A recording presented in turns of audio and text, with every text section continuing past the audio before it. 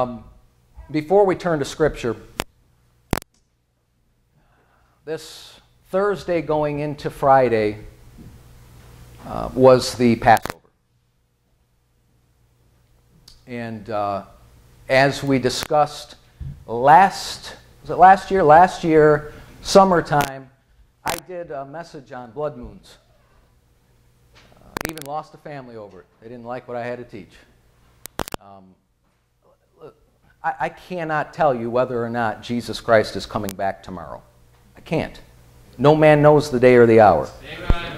And I would not be so arrogant as to say so, but you know what? The times and the seasons are upon us. And those who do not see that, I believe, do not want to see that. So, anyhow, this week we had um, what they call, what is it called, the quatrains of, of blood moons. That means it's basically, last year we had a blood moon. What's a blood moon? It's, you know, it's an atmospheric thing that happens. It's fairly miraculous, but not too, too miraculous, where the blood appears in a full moon, it, it appears red. Okay? We call it a blood moon. Uh, in history, it has appeared on the Passover day, uh, and then to follow the Feast of Tabernacles, and then the following year, Passover Day and Feast of Tabernacles. I mean, for that to happen two years in a row, boom, boom, boom, boom, to line up is miraculous. The mathematics we did behind it, it's miraculous. And with every one of those events, something significant happens in the history of the nation of Israel. Well, unfortunately, America's now involved in it. This Passover, this blood moon, by the way, there's one more left. We had two last year, there's one to come in October. Um, on this Passover day, with a blood moon in the sky, the leaders of our country signed an agreement with the Prince of Persia. If you want to know who's the Prince of Persia, uh, you read the book of Daniel sometime. The land of Persia, which would include Iran, Iraq, um, the Assyrian region, if you will, they, um, they have a demonic spirit that rules that area. I never heard of such things. Surely he's crazy. Well, I believe the Bible. He's referred to as the Prince of Persia. If you want to know why that area likes to cut people's heads off, it has nothing to do with Jesus Christ or even religion. It has to do with what they believe in the demonic spirit that overpowers them there. Just speaking the truth. Our government agreed with Iran against Israel on the blood moon on their Passover. Cross the table with the Prince of Persia. We're in trouble. I'm not trying to be gloom and doom. It's Resurrection Sunday. I know. I wanted to bring this out because, folks, the time is. You better see what's going on out there, and you better get on Jesus' side. Because he's coming back, and when he comes back, you better hope you're on his side. All right.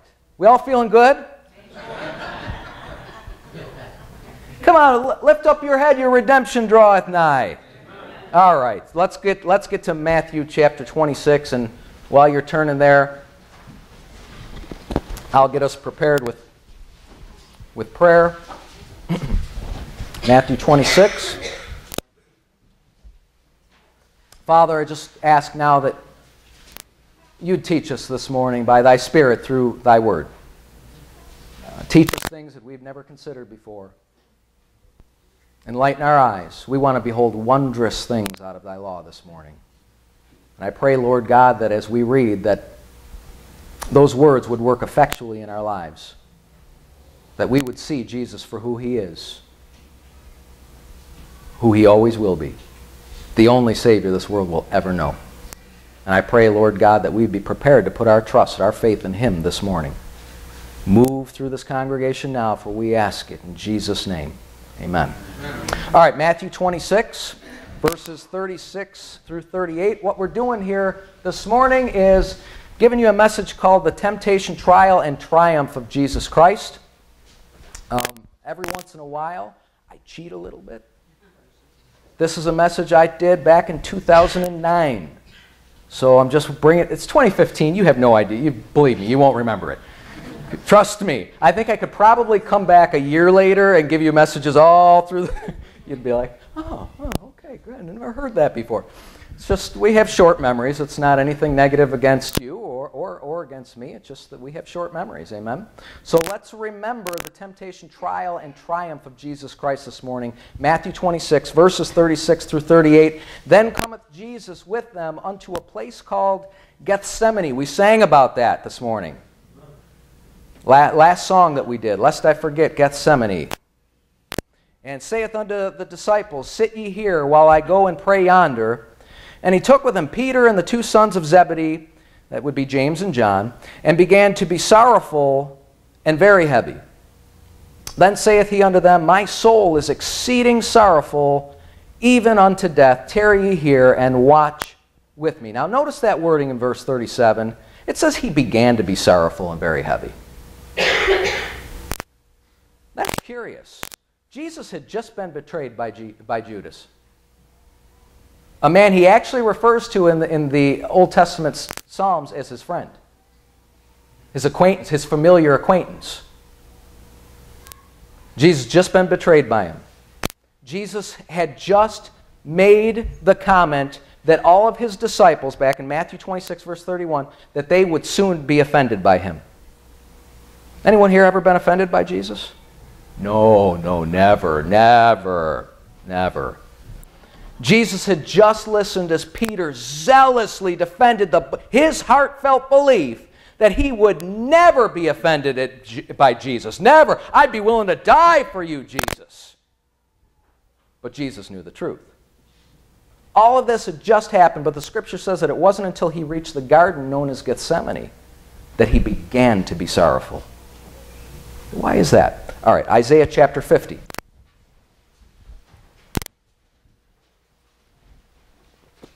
Going to have to let your fingers do some walking this morning. Isaiah 50, verses 4 through 7.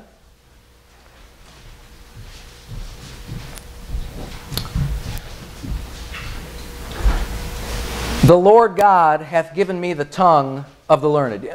Before I even begin reading, let me explain this to you.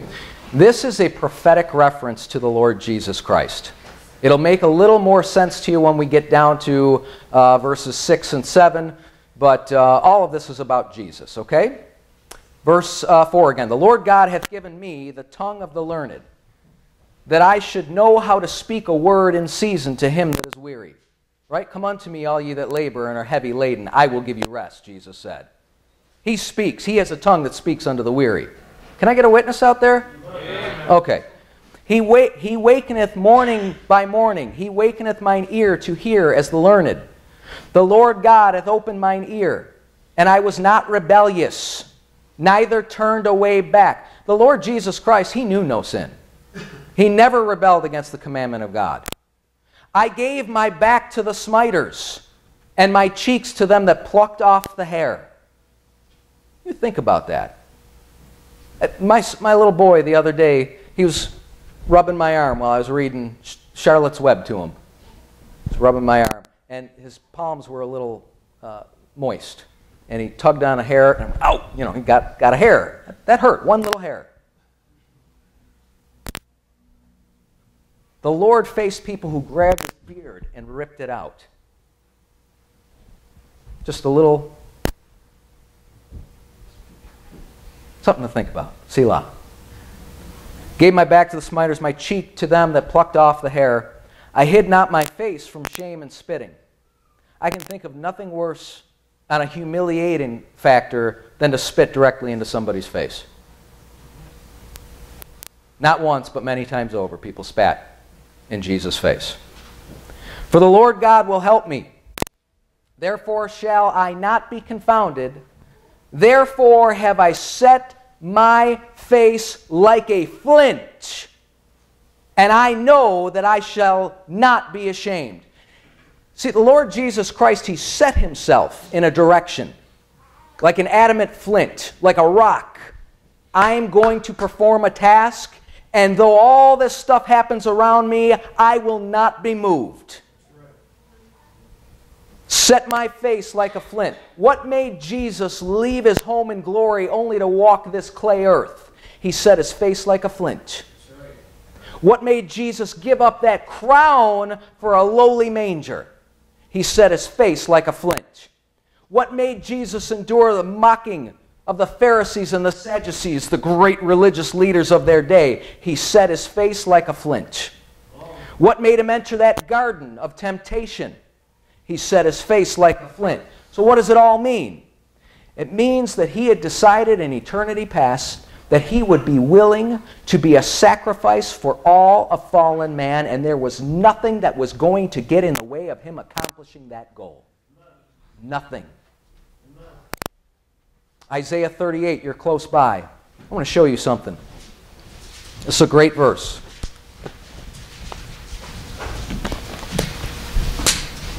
Anyone here ever in track?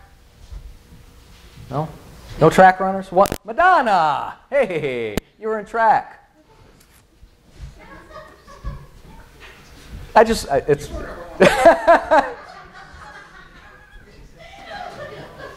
Madonna ran track, hallelujah. Do you got video? I need proof. okay.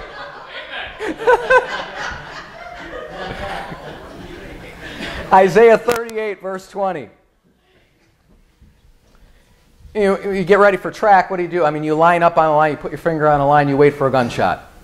Right? You wait for that whistle to go off. Look at verse 20. The Lord was ready to save me. Think about that in light of a track meet. He was ready. He was just waiting for that moment in eternity when he would come to earth. When that gun would go off and he'd set his face like a flint, running to the end of that race. Hallelujah. The Lord, Lord's been, He's been ready for millennia, folks. He had a plan mapped out for you who wasn't even a thought. Millennia ago. Ready to save you like a track star, Amen. waiting to jump that hurdle of Calvary for you. Amen. Mark chapter 14.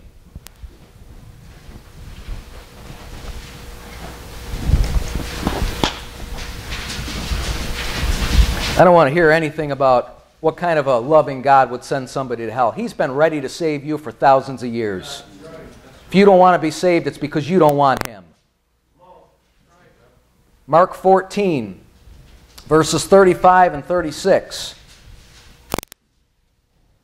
And he went forward a little. This is him in the garden again, just a different account from a different gospel. He went forward a little and fell on the ground and prayed that if it were possible, the hour might pass from him.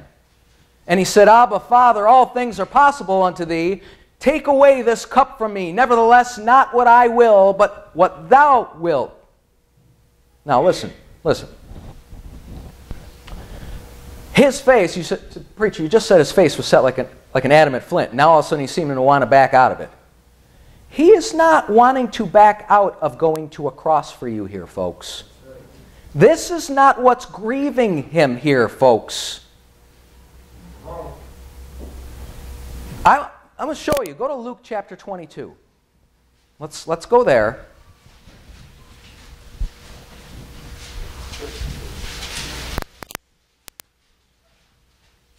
He had the man Christ Jesus was in great sorrow. Of course, the God Christ Jesus knew that he had a job to do.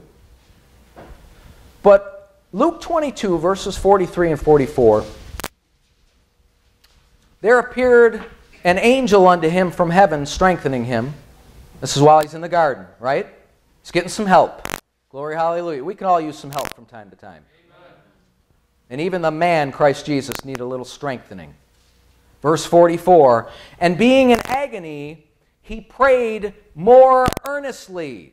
Well, what do we do when we're in agony? Forsake God, cuss God out, blame Him for the agony, or do we pray more earnestly?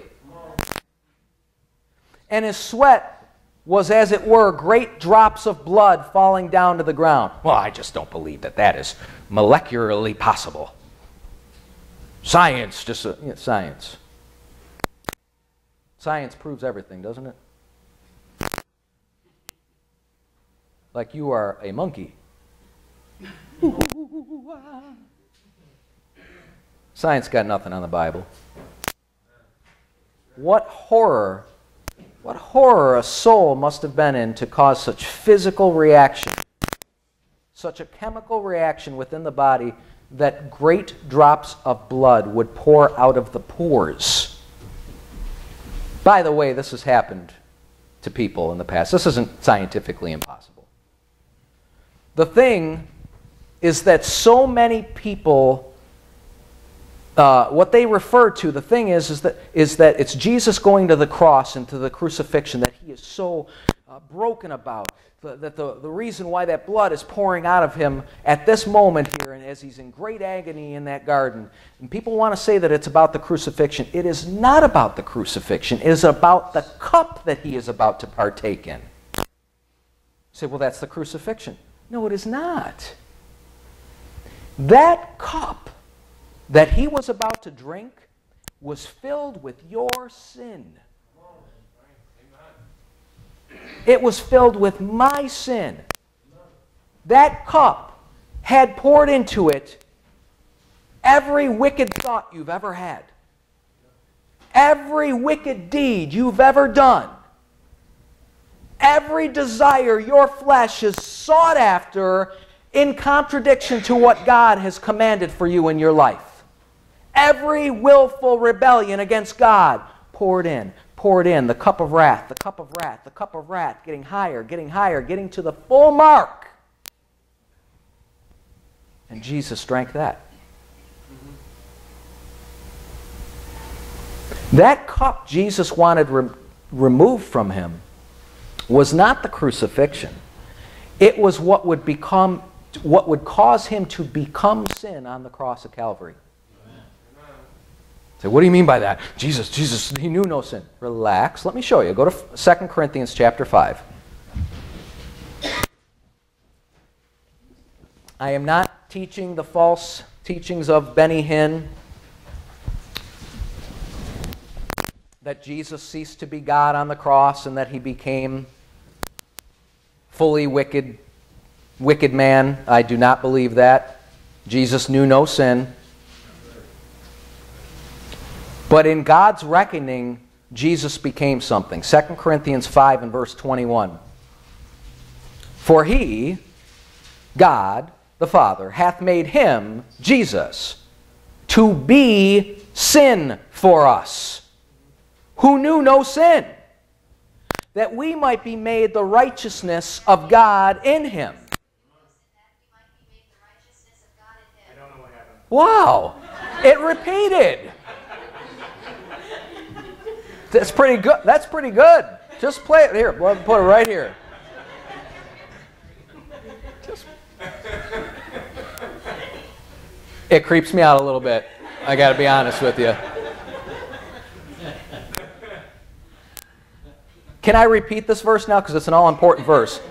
Shut that. Th- uh, step on it if you got to. Just because I, I don't want to be scared. You got a devil spirit in there. Go conjure that thing out of there. For he hath made him to be sin for us who knew no sin. That's what he didn't want. Why? Because that's what would ultimately break his fellowship with the Father. Right, amen. That's right. Your sins have separated between you and your God. He put all of the sins on Jesus Christ, punished him on the cross, and turned away from his Son. That is what Jesus did not want. Amen. He always had a perfect relationship with God the Father. And God the Father did not want to see his Son in that condition. Turned away. What God, what God is loving? You send me to hell. The God who made his Son sin for you and punished him for you. Look back, Numbers 21 on your own time. Galatians 3 and verse uh, 13, Jesus became a curse. Cursed is every man that hangeth on a tree. Numbers 21, verses 8 and 9, talk about the fiery serpent that was hung up on the pole in the wilderness. Who's a serpent? Satan. Yet in the Levitical law, in the book of Numbers, said, Look to this and live. Look and live. We sing that song, Look and live. You know. Why? It wasn't a picture of Jesus hanging on the cross, it was a picture of sin hanging on the cross. It was fulfilled in Jesus Christ, who was made sin for us. It's a great picture. That was Jesus' temptation. That was his agony. He wanted out of that cup. I don't blame him. But aren't you glad that he said, Nevertheless, thy will be done? Amen. Would to God that we all said things like that when we didn't want to do something God asked us to do. All right, let's move on to the trial. John chapter 18.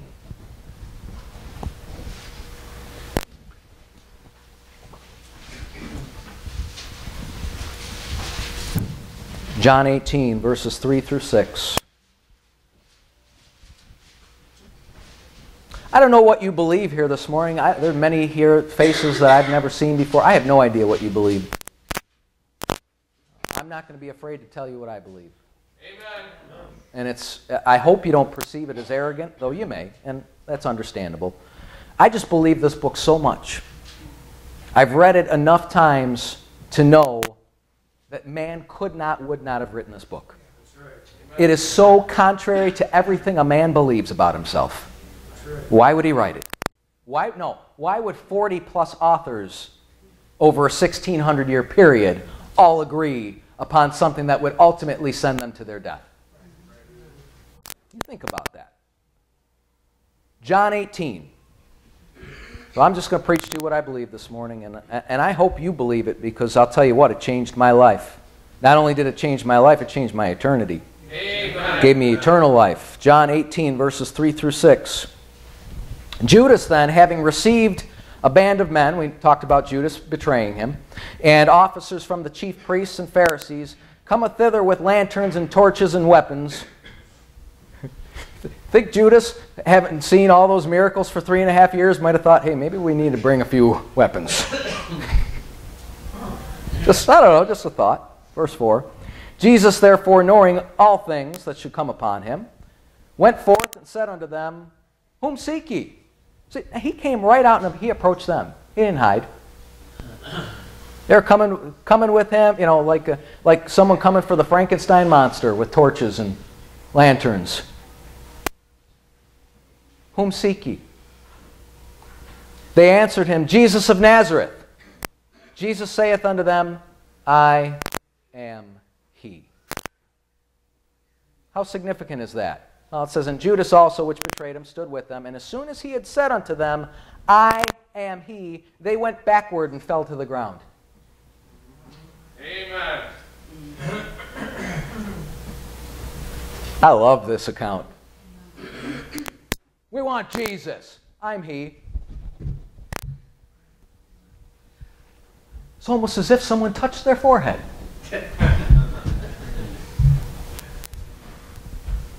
Just throw that out for you. Uh, we've discussed this the last couple of weeks. When Moses asked God, What's your name? He said, I am that I am. When the Jewish leaders wanted to know about who Jesus was, he says, Before Abraham was, I am. He identified himself as that burning bush, God. He identified himself as God. You say, well, that's not what it says. It certainly was. Uh, the Sadducees and Pharisees wouldn't have picked up rocks to throw at him. They knew what he said. What you see right here as he responds in the same way, he's not, they're about ready to drag God off to a cross and kill him. And he lets them know just a little bit of that power lying within him and what he could do with them. We want Jesus. I am he. Boom, on the backs they went. Read Isaiah 28 on your own sometime. The enemies of God fall backwards. You watch all those guys on TV. The hair and the pair. Benny Ha- hair in the pair is Jan and Paul Crouch. She's got that pink hair that's this big. You ever seen her before? Little dog that's this big, pink too. Mascara covered all over her face. Crazy looking. They're crazy people. I don't know what people, people send money to those people. You like just throwing money in the garbage? Support something that's real. Anyhow, those guys, they're all doing the slaying and the spirit stuff. People fall backwards all the time. I want to let you know that the enemies of God fall backwards in God's presence.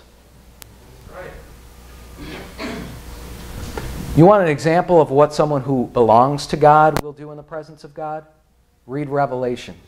And they fall on their face before his feet. They do not fall backwards at his power, they fall forward in worship. You want an example of that here on earth? Is anyone here trust Jesus Christ? Anyone born again here? Okay, so you have become a child of God, a son of God by receiving Jesus Christ. Amen. John 1 verse 12. Well, as a son, as a child, you're supposed to have a good relationship with your daddy.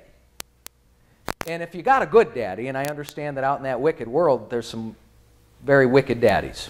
And I'm sorry if you've been raised by one. I was not raised by any. I feel your pain, at least on some level. But God the Father's always, since six years old and up, He's been my dad.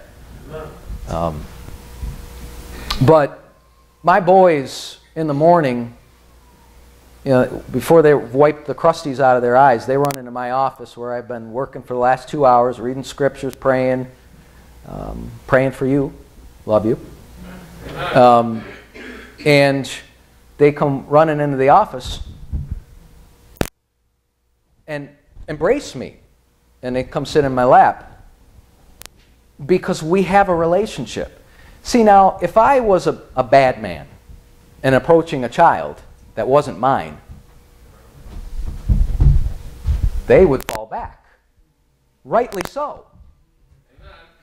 But if you're one of his, the reaction shouldn't be this. I fear that it is sometimes. It should be this. Amen. So that's just help you along. Not backwards. You see those guys on TV? Some of them are the enemies of God, some of them are just plain out ignorant of what the scripture teaches. Okay, Matthew chapter 27.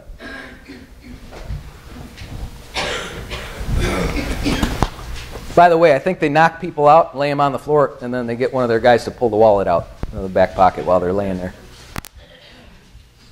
I think that's the whole gist of the show. Matthew 27. I want to go to one of those things sometime. Preach outside and then go in and watch the show. Just I'm going to leave my wallet at home. Versus, can you get into one of those things without paying? Churches are just like that too. Nobody asked you for anything here. I bet you're. I'm waiting for that plate to get passed. That won't happen. Matthew 27, verses 11 through 14.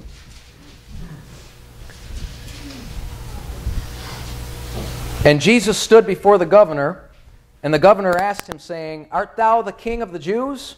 And Jesus said unto him, Thou sayest. What does that mean? See, some people, they misinterpret that and they go, well, that's Jesus. Jesus was saying, well, that's what you're calling me. No, he's saying, you got it. That's how modern vernacular would be today. Art thou the king of the Jews? You got it. Amen. And when he was accused of the chief priests and elders, he answered nothing. Then said Pilate unto him, Hearest thou not how many things they witness against thee? And he answered him to never a word, insomuch that the governor marveled greatly. So you got Pilate going, Wait a minute, they're, they're accusing you of this, this, this, this, and this. Do you hear that? Don't you know I have the power to kill you right now?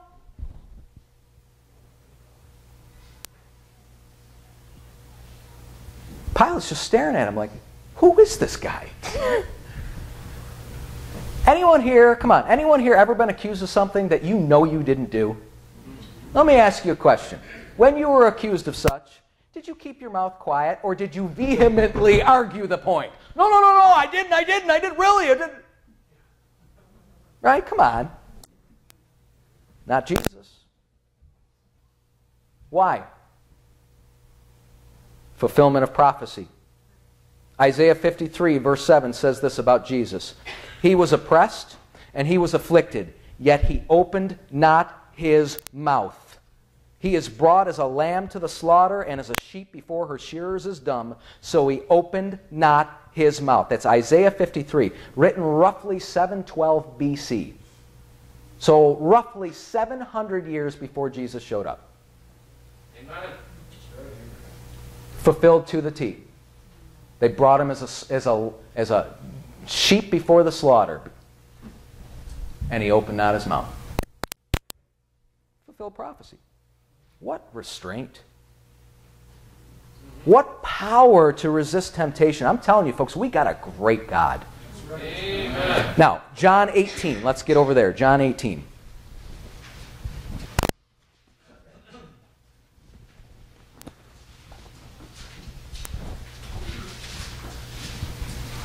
Verses 19 through 23.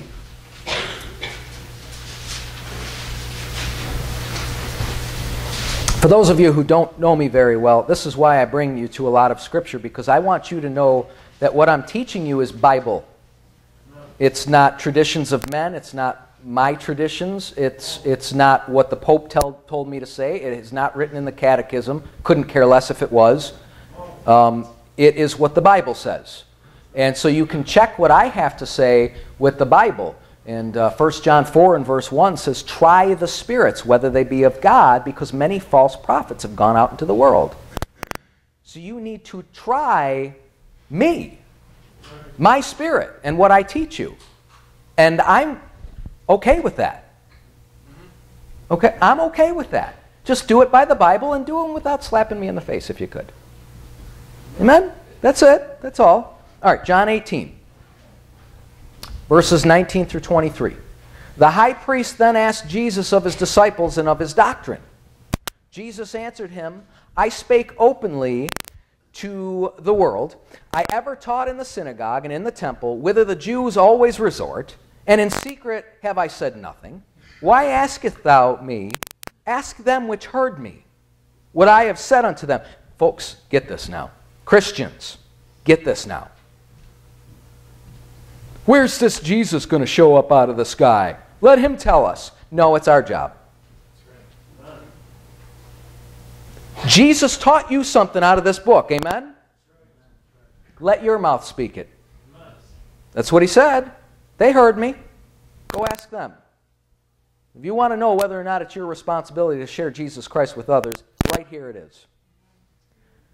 Um, Behold, they know what I said, and when he had thus spoken, one of the officers which stood by struck Jesus with the palm of his hand, saying, Answerest thou the high priest so? This man had more respect for a man in a long robe called a high priest than he did for the Son of God standing in front of him. Jesus answered him, If I have spoken evil, bear witness of the evil. But if well, why smitest thou me? Is that how you would have responded?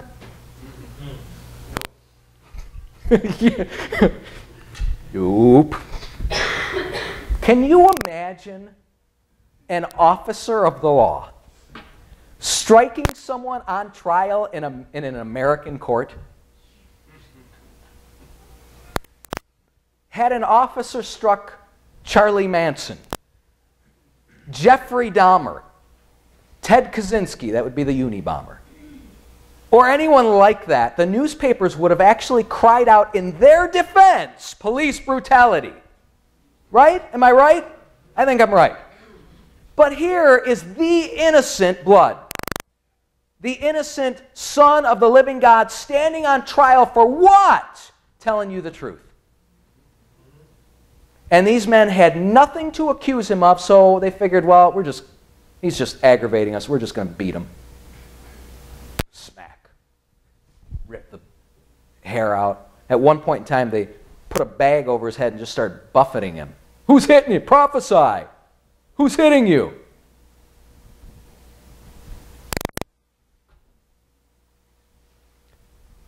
Matthew 26. Not only did they beat him, Matthew 26. This is, this is during court, folks. This is a legal hearing. 59 through 61. Now the chief priests and elders and all the council sought false witness against Jesus to put him to death, but found none. Yea, though many false witnesses came, yet found they none. At the last came two false witnesses and said, This fellow said, I am able to destroy the temple of God and to build it in three days.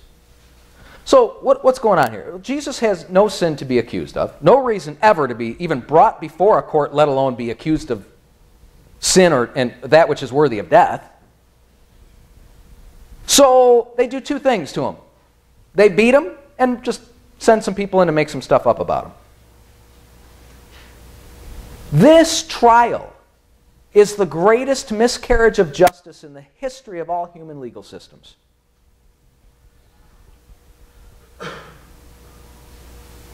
You need to understand that.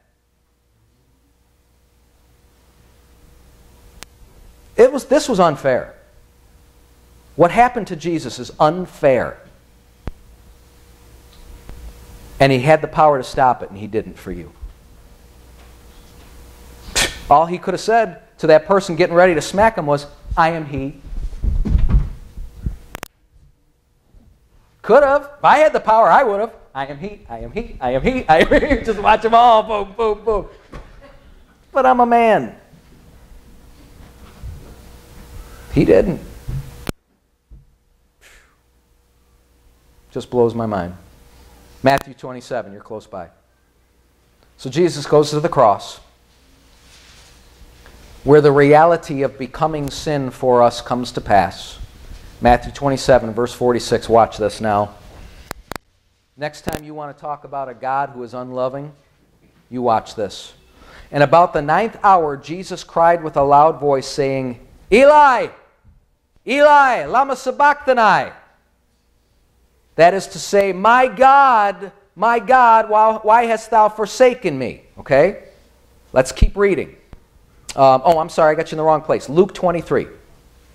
So it's in this moment here. Let me explain this, and then I'll get you to that verse that I wanted to show you.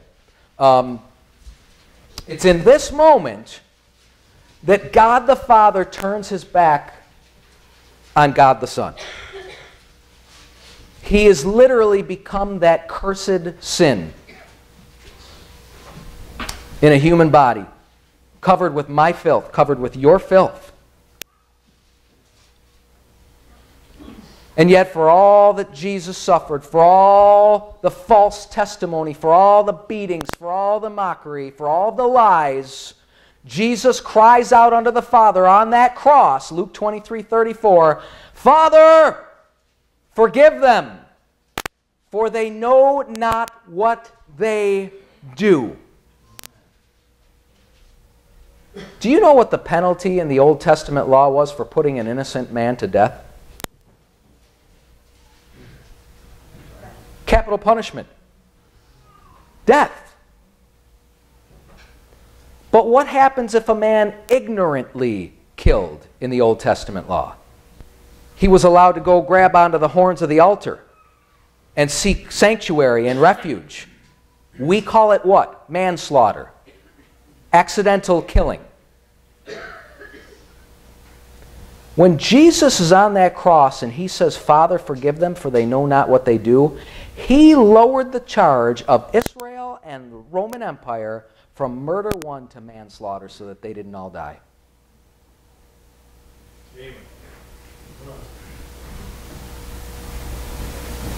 God's unloving. Send people to hell.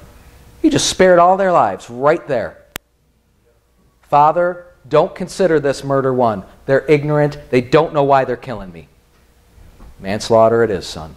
Why? So that a Roman centurion who stood there watching it happen could believe and be saved.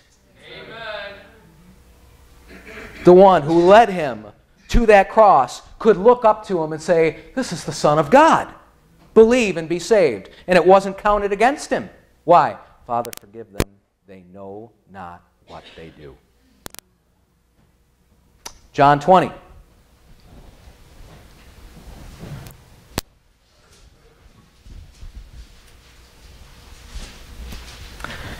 All right, so we saw the temptation, we saw the trial. Let's get to the triumph.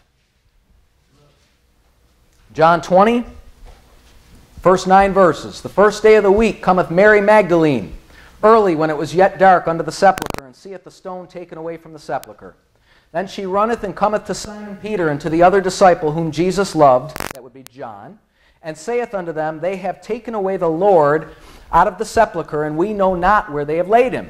Peter therefore went forth, and that other disciple, and came to the sepulchre. So they ran both together, and the other disciple did outrun Peter, and came first to the sepulchre, and he stooping down and looking in, saw the linen clothes lying, yet went he not in. Then cometh Simon Peter following him, and went into the sepulchre, and seeth the linen clothes lie, and the napkin that was about his head, not lying with the linen clothes, but wrapped together in a place by itself. That, what does that show? Activity in the tomb. Then went in also that other disciple which came first to the sepulchre, and he saw and believed. For as yet they knew not the scripture that he must rise again from the dead.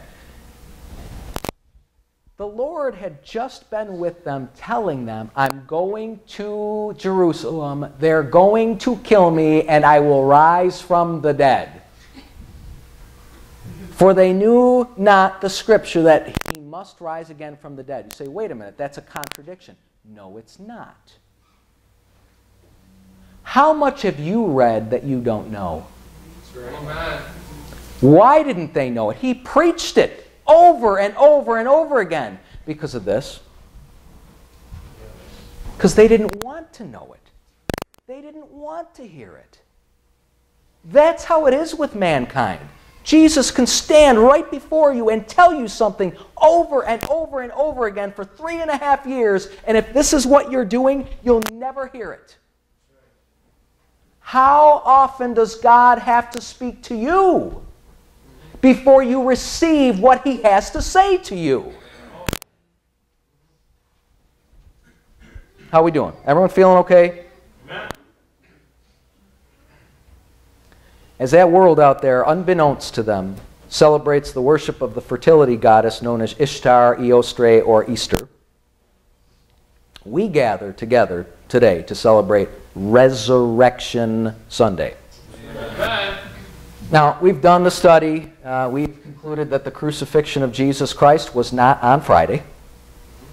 Book of Luke, you need a, few, you need a bunch of scriptures, but you, when you do the study out, Jesus was crucified on a Wednesday. It was not in December.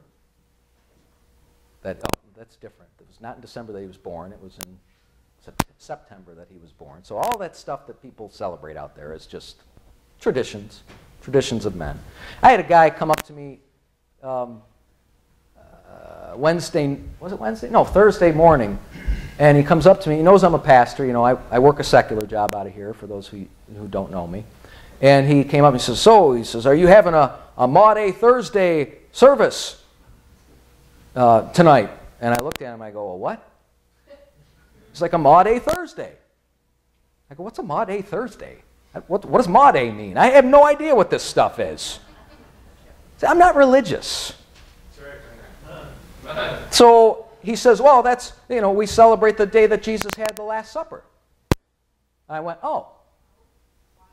How did he have the Last Supper after he died? And he's like, What? I go, He died on a Wednesday. So, oh, well, it's Friday. I said, No, it's not. Said, oh, well, I said, Listen, I go, Tim, he's a brother. He's a brother in the Lord. He's just very traditional. I said, Tim, I, I'm really not religious. I just believe the Bible. And he said, he looks at me and goes, Oh, okay, well, that's a good start.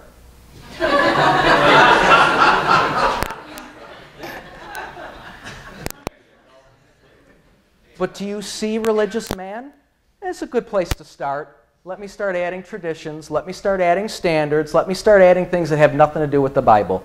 Before you know it, you're celebrating, I don't know, a bunny. Thank you, Pastor. We love it when you talk about this stuff. Amen. Laying all that aside, if Jesus did get crucified on a Friday, why would you call it good? See, now we, you know what we do in regards to Christ's death? We, you know, what is referred to as communion. I call it the Lord's table. We don't make merry over his death. It's not Merry Christ's death. Merry Christmas. Mass. Mass means death. Just throwing that out there, too. We're all having fun. It's snowing out, so I figured I'd throw Christmas in, too. Um, but we do memorialize it. Amen? I memorialize the fact that he went to that cross for me. He spilled his blood for me. But I joy in his resurrection. He defeated Satan. He defeated death in the grave. He walked out of that tomb triumphantly. He ascended up to the Father. He's sitting on the right hand of the majesty on high. Come on, it's not Easter Sunday any more than Friday was Good Friday. It's Resurrection Sunday. And why don't we just start calling that Good Sunday? Because that's good. Now, John 20, we're there. Look at verses 26 and through 28. And after eight days, again, his disciples were within, and Thomas with them. Then came Jesus, the doors being shut, and stood in the midst, and said, Peace be unto you. You know, maybe I ought to start. No. Yeah, no, start in verse 24. But Thomas, one of the twelve called uh, Didymus, was not with them when Jesus came. The other disciple there, therefore, said unto him, We have seen the Lord. But he said unto them, Except I shall see in his hands the print of the nails, and put my fingers into the print of the nails, and thrust my hand into his side, I will not believe. Any people like that out there? Unless I see Jesus with my eyes, I'm not going to believe. Good thing for Thomas that Jesus was still walking the earth for a few days until Pentecost. After the eighth day, or after eight days, again his disciples were within, and Thomas was with them. Then came Jesus, the doors being shut, stood in the midst, and said, Peace be unto you. All of a sudden, there's Jesus. Boop. That's going to happen to us, folks. All of a sudden, there's Jesus. Boop. Hope you're ready. Then saith he to Thomas, Can you imagine this now? You're, you're doubting Thomas. I will not believe. He, all of a sudden, he's in the middle of the room. He says, Peace to everyone. They turn right to Thomas.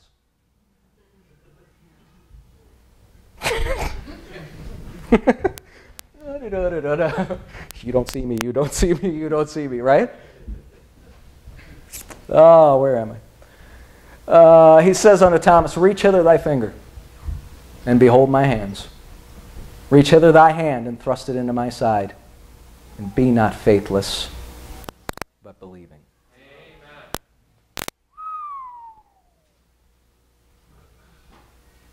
Amen. Next verse. And Thomas answered and said unto him, My Lord and my God. Amen. Jesus was tempted in that Garden of Gethsemane to forsake that cup of sin. He chose to do the will of the Father for you, for me. Then he was put on trial for crimes he never committed, spit on, slapped, hit over the head with a reed, mocked, beard plucked out of him, nails driven into his hands, spear into his side, thorns into his forehead, spilling that precious, sinless blood for you, for me. He did the work. He paid the price. Jesus paid it all a one time sacrifice. You do not need to keep eating wafers. That is not the body of Jesus Christ. It already happened. That body of Jesus Christ, it went to a cross, it came up out of a tomb, it ascended on high. It's not in a round orb. And nowhere in the Bible does it teach that it is.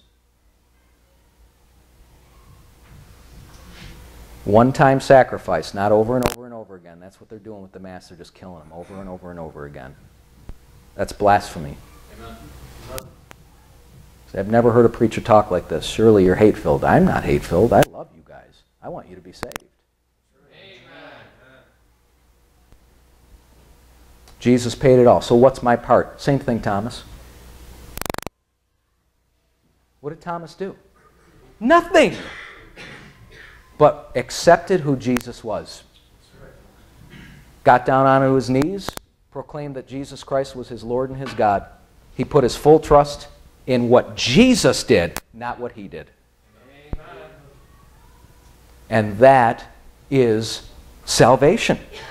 That is what the Bible refers to as being born again. A lot of people get these crazy notions that bunch of nutty people out there because of what you see on TV. I don't blame you for thinking we're all a bunch of nuts for what you see on TV.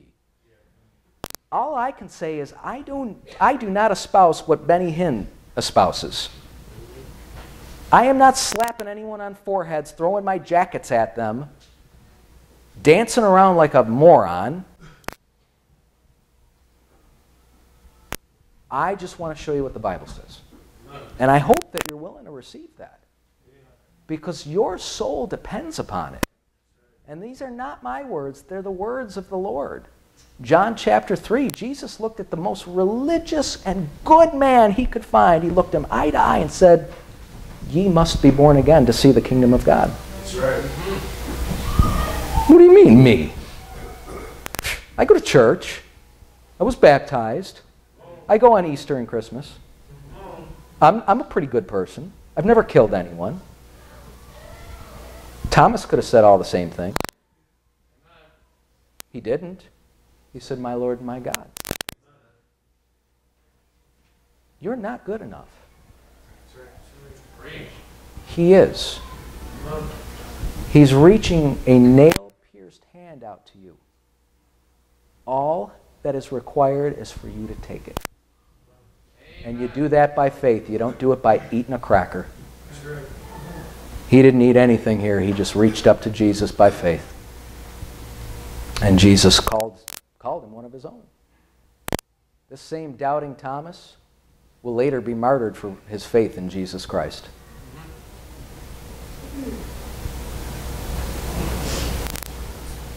Something to think about on Easter. Thank God he came out of that tomb. Can I close with that? Go to 1 Corinthians chapter 15. I have so much here more that I wanted to share with you this morning, but we don't have the time. So let me close with this. Anyone here who has, uh, like Thomas, gotten down on your knees, declared that Jesus Christ is your Lord and your God? You've been born again. You've been been given newness of life by the Spirit of God through faith in Jesus Christ? If that's you this morning, I got some good news. Say, isn't that good news? Oh, that's great news. I've got, I've got good news to follow. Verse 51 of 1 Corinthians chapter 15. Behold, I show you a mystery. We shall not all sleep. That's a reference to dying. But we shall all be changed. In a moment, in the twinkling of an eye, at the last trump, for the trumpet shall sound, and the dead shall be raised incorruptible, and we shall all be and we shall be changed. What's he talking about? A resurrection. We call this the rapture. It's the resurrection. For those who? Who's he writing to? Born again Christians. At Corinth. Some of them not even good born again Christians, let's be honest. Because your goodness means nothing. Your faith in Jesus Christ will get you out of the judgment. Amen. Say, well, it makes no sense. God gave one way, folks. One way, and that way is Jesus Christ. Well, I don't understand. That's not fair to everybody. It's, so, it's certainly fair to everybody. Everyone gets one way. But it's available to everyone. Amen. See, the problem with mankind is he gave you one way, so you want two. If he gave you two, you'd want ten. If he gave you ten, you'd want eleven. You can have every tree but the one in the midst of that garden.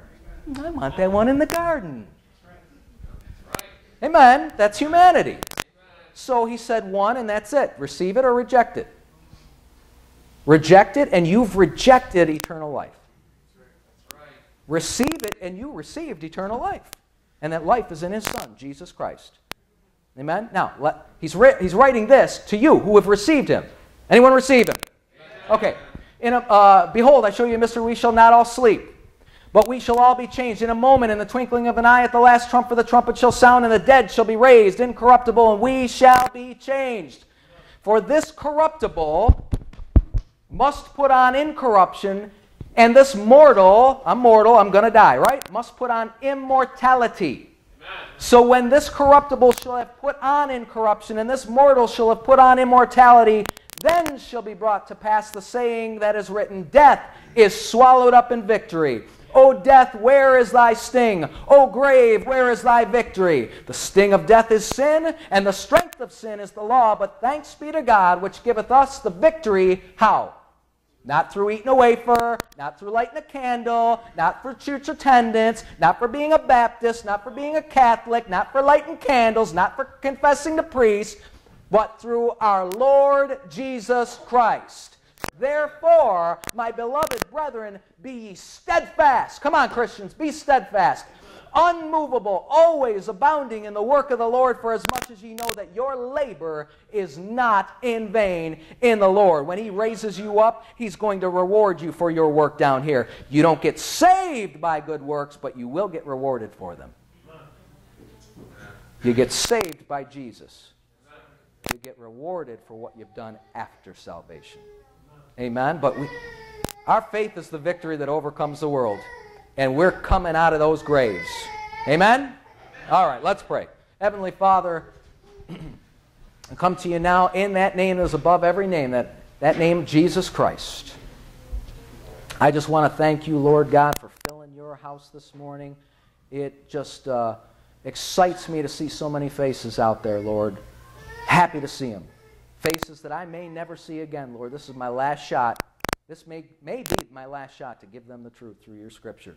Holy Spirit of God, I pray that you would just descend upon them right now and convict their hearts for those who have not trusted in Jesus Christ, that you just might speak right into their ear and whisper, You know this is truth, and you know right now it's not applying to you. Holy Spirit of God, we expect that you will do all the convicting work that is necessary that you will do all the preaching that is necessary into the hearts and minds of people. Help them to understand that salvation is belief away. It's not even a prayer away, it's a heart belief away. Through faith in your blood. Believing in the heart, the Lord Jesus. Confessing made unto salvation. Father, if there's anyone here now that has yet to trust Jesus Christ, I don't like to do that. All eyes closed, hands lit. Lord, you know their hearts. You've sent your Spirit into them uh, as a candle, according to the Scripture, that you might know their hearts, Lord God. If there's anyone here that says, That's me, I want to trust Jesus Christ, I want to be saved, I believe this is true, that right here, right now, that they would make that decision. And if so, that they'd be willing to say, that's me. I'll believe Jesus. Confession is made unto salvation. Father, we just thank you that you sent your Son to die in our place. And we thank you that our hope was not lost, but that he came up out of that grave. And our recognition of such means that we're coming up out of those graves too. Thank you for it, Lord. Can't wait. Even so, come, Lord Jesus, for we pray it in your name. Amen.